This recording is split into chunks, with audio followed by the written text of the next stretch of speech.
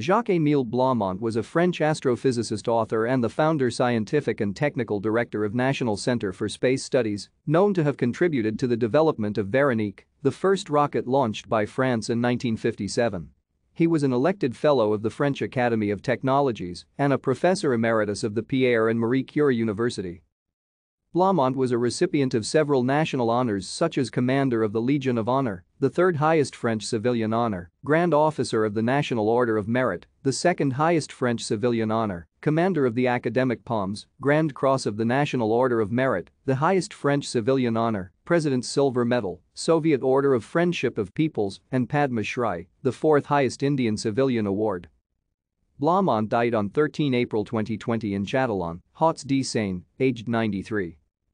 Jacques Blamont was born in Paris in France on 13 October 1926 and did his studies at the École Normale Supérieure, where he came in contact with the Nobel laureate Alfred Kastler, who was serving the institution as a professorial chair. Thank you for watching. Like and subscribe if you would like to view more of our videos. Have a nice day.